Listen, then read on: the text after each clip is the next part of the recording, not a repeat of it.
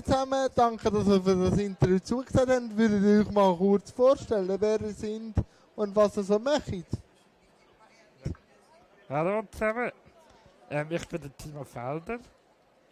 Ich bin ähm, aus der Innerschweiz und ich lebe mit Assistenz. Ich bin der Hans, ich bin sein Assistent. Ich mache das seit vier Jahren, seit ich pensioniert bin. Habe ich da eine wunderbare soziale Aufgabe gefunden für ihn. Es dienen die beiden. Timo, wie war deine Vergangenheit gewesen, bis an den Punkt, also ganz kurz, dass du gesagt hast, ich möchte jetzt gerne mit Assistenz leben, dass man einen kurzen Überblick bekommt?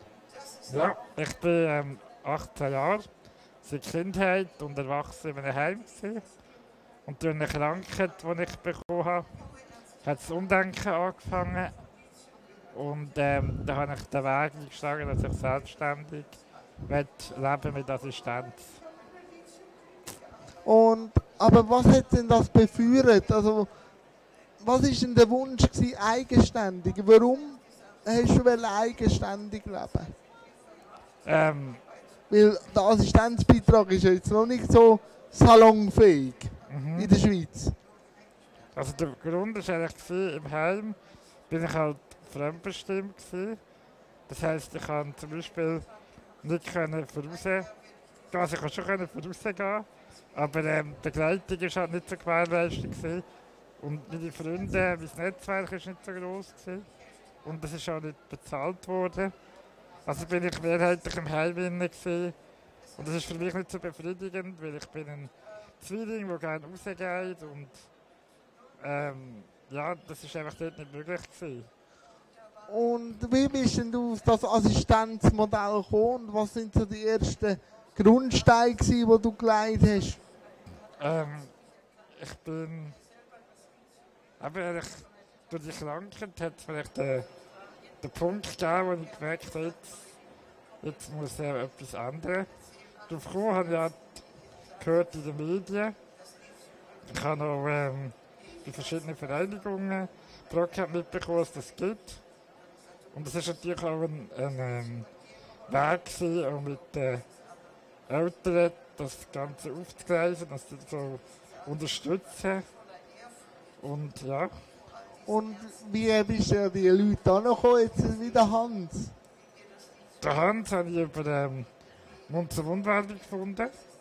Weil meine Mutter hat noch ein privates Geschäft mit Putzlampen, Schamacko, Schleichwerbung.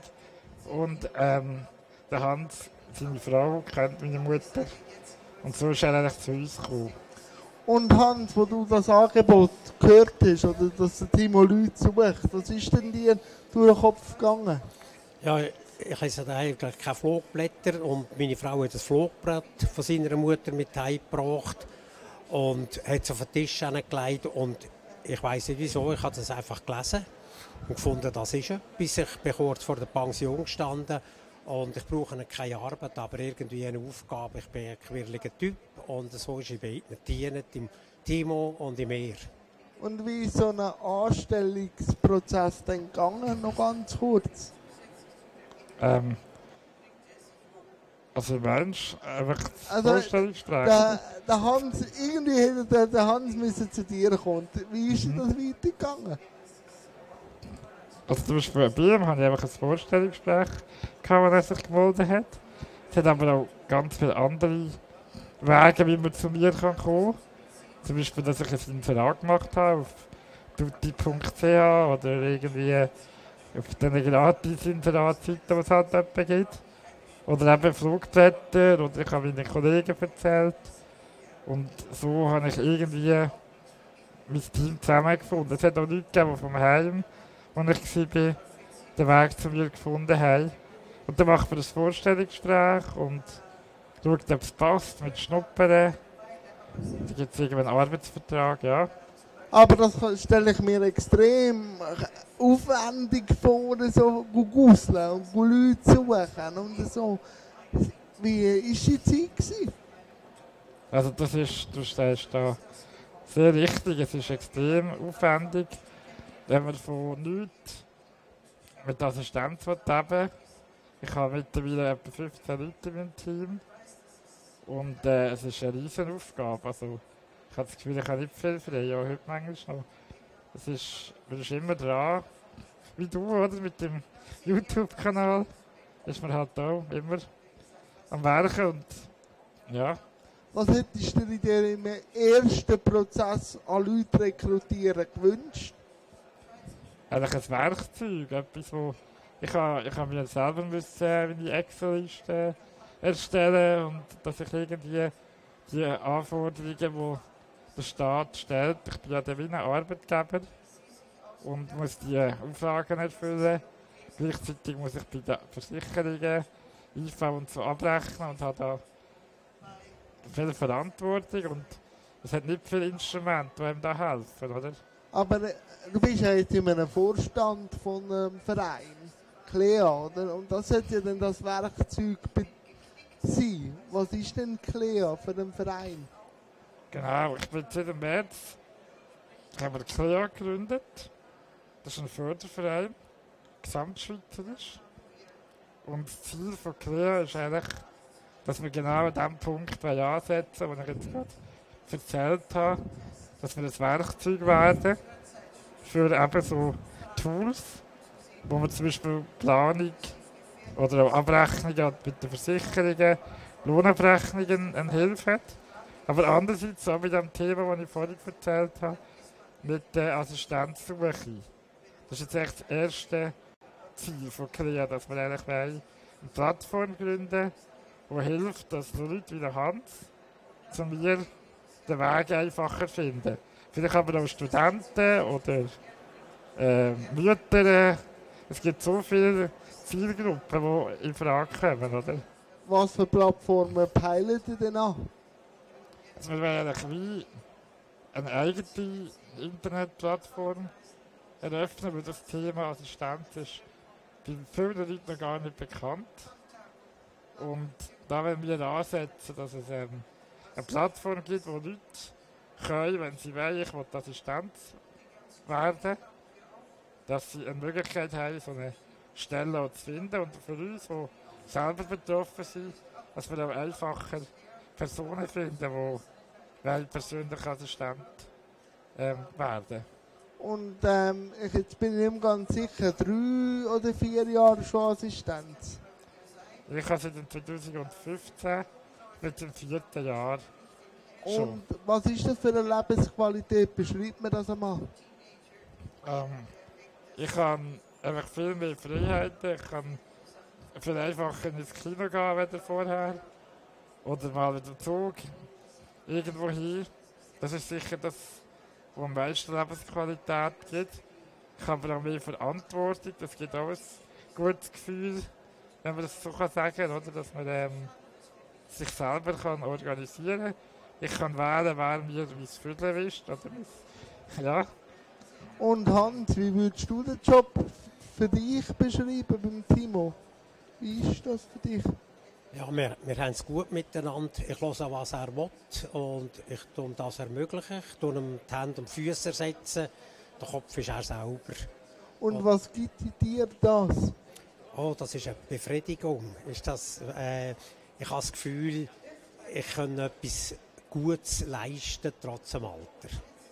Die, was eben die Plattform wie wird denn die finanziert oder sind ihr jetzt da am Finanzen suchen von Clea? Genau, aktuell sind wir intensiv da, dass wir ähm, Finanzierungsgesuche durchstellen und wir brauchen natürlich wie alle gescheite Ideen, braucht überall Geld, das ist nichts Neues. Das ist auch bei Clea der Fall, dass wir, dass wir im Moment dran sind, dass wir verschiedene Quellen anzapfen können und ähm, ja, so Finanzierungen kommen. Was hast du mit Assistenz können jetzt in diesen vier Jahren, wo du vorher undenkbar gewesen wäre? Äh,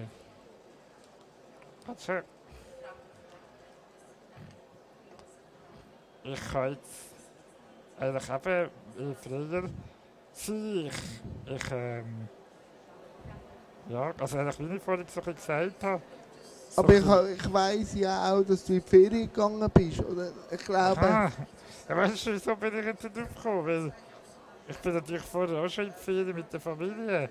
Das ist natürlich nicht ganz das Gleiche wie ähm, mit Assistent. Das ist natürlich schon cool, oder?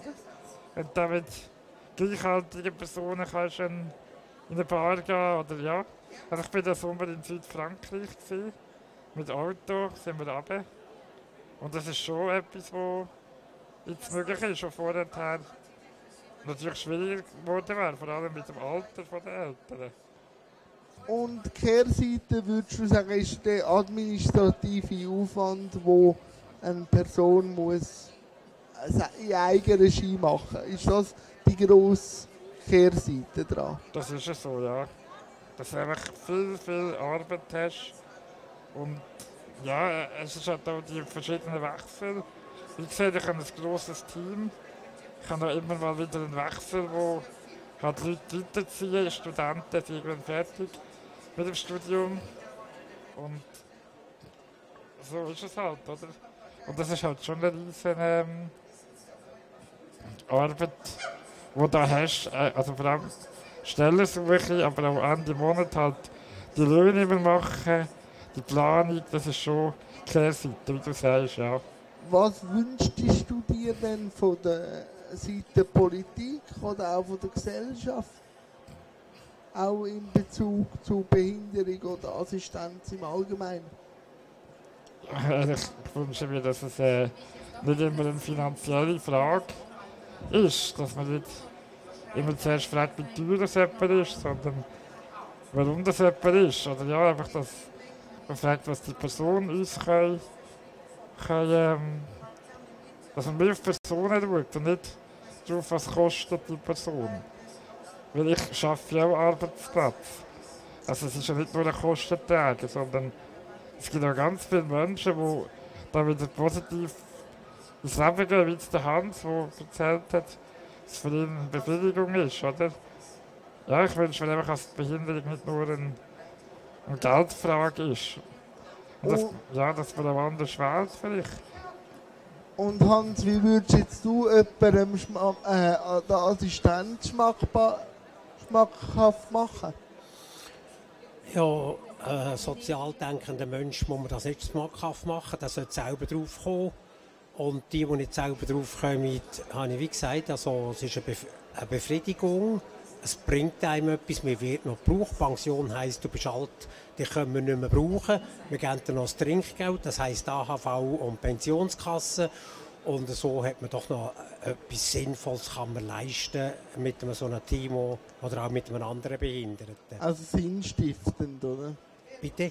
Si- sinnstiftend. Ja, Und jetzt sind wir äh, noch abseits von der Assistenz und Lea.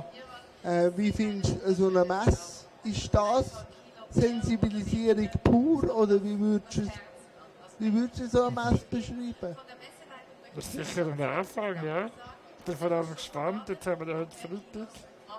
Heute sind vor allem viele da, die ich kenne, die selber eine Behinderung haben. Ich bin gespannt, wie es da morgen ist. Ob dann wirklich auch Familien kommen, die sich interessieren für die Behinderung, für, das ist für allgemein das Thema. Ja, Und, ich finde es ein guter Anfang. und was gibt es bei dir in der Zukunft? Außer jetzt Lea natürlich intensivieren. Ja, einfach für mich ist im Moment wichtig, einfach Abläufe optimieren und ein bisschen herausfinden, wo ich noch hin will. Aber was mich sonst noch interessiert, im Moment bin ich schon viel in dieser Arbeit drin und, und weiss auch gar nicht so recht, was, was will ich eigentlich. Weil ich habe schon etwas probiert im Thema Kunst. Ich habe mal in einem Tanzprojekt mitgemacht, das hat mir äh, viel Spass gemacht. Ja, ich bin gespannt, was mich herentreibt im Leben. Ja, ich bin natürlich auch gespannt. Und bei dir, Hans, wie findest du jetzt so eine Messe? Ja, das finde ich eine gute Ding, eine gute Gelegenheit, wo man auch sich gegenseitig austauschen kann, wo man wieder andere Leute können lernt, die nicht auf der Sonnenseite vom Leben sind. Timo, jetzt äh, noch die letzten paar Minuten. Hast du noch irgendetwas, wo willst du auf den Weg geben Ich habe jetzt alles gesagt, aber vielleicht hast du noch etwas, wo willst du wie auf den Weg geben Dann darfst Ja, lebe im Jetzt und genieße es und weiter, geh vorwärts. Danke vielmals. Danke auch vielmals für deine Arbeit.